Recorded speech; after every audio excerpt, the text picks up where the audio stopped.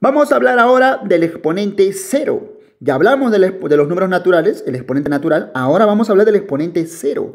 Muy bien, ¿qué significa cuando el exponente es cero? Vamos a darlo directamente aquí. Es importante que nos acostumbremos a leer símbolos matemáticos para poder dar interpretaciones más adelante porque estoy seguro que seguramente lo vas a acompañar con algún libro. A ver, nuevamente, te pregunto yo, ¿qué era A? Ah, muy bien. Démosle nombre hasta que se nos quede. A, toma el nombre de base. Y el número que está en la parte superior, ¿cómo se le llama? Ah, muy bien, exponente. Muy bien, ahí está. Solo que ahora el exponente es un caso particular, toma un único valor que se llama 0. Ahora, todo número, porque A puede tomar cualquier valor, elevado a 0, ¿siempre me da 1? Sí. Para todo A que pertenece a los reales, pero hay un solo valor que A no puede ser, no puede ser 0. ¿Por qué, profesor? Porque tendríamos el siguiente caso. Si A valiese 0, tendríamos 0 abajo en la base elevado a 0. Y 0 a la 0, mi amigo o amiga que estás escuchando esta clase, que estás interesado en aprender, a ello se le conoce como una forma indeterminada. ¿Ya? Forma indeterminada. Muy bien y ello se evita en los números reales. ¿Ya? Entonces no puedes llegar a esta conclusión. Es por eso que evitamos que A tome el valor de 0. Muy bien, entonces, por favor, hasta ahí ya hemos tenido claro qué es el exponente 0 y cuál es el resultado que me da la unidad. Sin embargo, hay algunas situaciones en las cuales tenemos que tener bien claro. ¿Cuál, profesor? Para que tú digas todo número elevado a 0 me da 1, tienes que estar seguro que la base no va a ser cero. Porque si fuera cero, ya sabes, sería una forma indeterminada. Entonces, aquí, profesor, no me va a salir cero jamás, nunca. Porque raíz de 2 es 1,41 y le voy a restar 3. No me da cero, porque para que me dé cero, profesor, tendría que ser menos 3 más 3. Ah, sería, recién sería cero, ¿no? Pero no, profesor, me va a salir cualquier número y negativo. Entonces, si sabes que no va a ser cero en la base, no importa qué resultado sea, elevado a cero me da 1. Entonces, esto es verdad.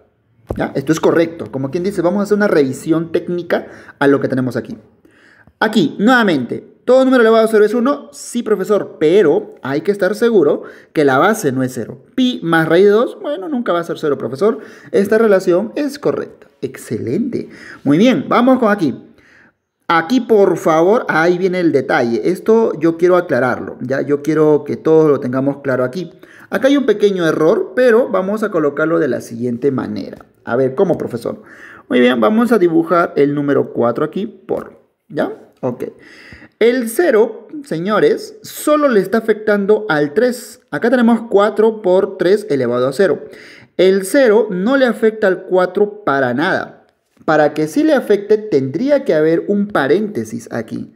Tendría que ser de esta manera. Perdón, si queremos que lo afecte al 4, tendría que ser de esta manera. Entonces 4 por 3 sería 12, pero como no es 0, elevado a 0, 1. Sin embargo, aquí no le afecta al 4, le afecta únicamente a quién? Al 3. Entonces, si le afecta al 3, sería el 4 no pasa nada, y por eso que 3 a la 0 me sale 1. Y 4 por 1, pues es 4. ¿Ya? Entonces aquí abajo vemos, nos hemos dado cuenta que es el mismo ejemplo, no lo vamos a tocar. Sin embargo, en el punto E, aquí en este ejemplo, sí voy a entrar un poco a detallar. Por favor, señores, aquí el 0 está afectando a todo lo que está dentro del paréntesis. Y tú tienes que estar seguro de que aquí abajo no va a ser 0. Por ejemplo, ¿ya? Aquí b está al cuadrado y todo número al cuadrado es siempre positivo e incluso puede tomar el valor de 0. Entonces, más algo siempre será positivo. Nunca va a ser 0, profesor, porque esto tendría que valer negativo. Menos 4, profesor, y no. Un, cuadrado nunca va a ser negativo. Siempre positivo, profesor. Entonces, nunca va a ser 0. Entonces, todo número elevado a 0 será 1. Entonces, me queda A por 1. A por 1 y simplemente el resultado sería A. Sin embargo, ¿qué pasaría si yo te pregunto, ¿no? ya que tienes claro el concepto, y te pregunto, esta parte de acá, m por x menos 1 elevado a 0 es igual a m. Te pregunto yo, ¿me dirás que es ¿Esto es verdad? ¿Esto se cumple? Si me dices que sí, si me dices que sí, entonces ya estamos grave porque todavía no tienes claro el concepto. Como te mencioné, para que esto sea verdad, tú tienes que estar seguro que esto no es cero. Ya, repito, esto no puede ser cero. ¿Tú conoces qué valores tienes para X? ¿Lo conoces? ¿Sabes? No. Entonces tú tienes que asumir que X puede tomar cualquier valor. Y uno de ellos, por ejemplo, es que valga 1.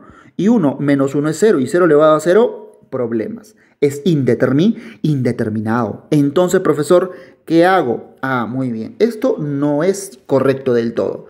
¿Ya? No. Entonces tú marcarías, si te preguntan ahí una cuestión de verdadero y falso, marcarás falso, porque verdadero del absoluto no lo es. Pero para que sí sea, tú ya lo acabas de mencionar, ¿no? Ya, lo, ya te acabas de dar cuenta. Tendrían que añadir aquí y decir que x tiene que ser diferente de, de 1. Claro, al restringir que x valga 1, puede tomar cualquier otro valor. Mientras tanto no valga 1, cosa que evito el 0 elevado a 0. ¿Ya? Entonces, señores, ahora sí creo que ya tienes claro cómo podrían ser tus preguntas cuando tienes el exponente 0. Ahora, aquí por favor, aquí abajo, muchas veces los ejercicios, a ver, ahí está recalcándose en la parte de naranja, 0 elevado a 0, ¿qué es? Indeterminable. ¿Ya? Indefinido para el campo de los números reales. Sin embargo, aquí quiero aclarar algo bien bonito. En esta zona de verde, porque a veces muchos eh, dan una respuesta rápida, ¿no? Cuando tú calculas aquí arriba, raíz cúbica de menos 8, profe, raíz cúbica de menos 8, bueno, te voy recordando que 8, por ejemplo, vamos a ver, 8 es lo mismo que 2 por 2 por 2, ¿no es cierto? O sea, 8 es 2 al 2 al cubo. Muy bien, hasta ahí perfecto, no hay ningún inconveniente. Sin embargo, al 8 le están multiplicando por un signo negativo. Entonces, multiplicarle por un negativo, entonces todos tendrían con un signo negativo. ¿Ya? Profesor, le están sacando raíz cúbica. Ah, sácale raíz cúbica, no pasa nada. Saquémosle raíz cúbica, muy bien. Saquémosle acá también porque estamos sacando a todos, ¿no? Y luego, por último, aquí, raíz, raíz cúbica. Ahora, aquí, ¿no? Cuando es exponente impar, el signo lo respeta, ¿ya? se mantiene.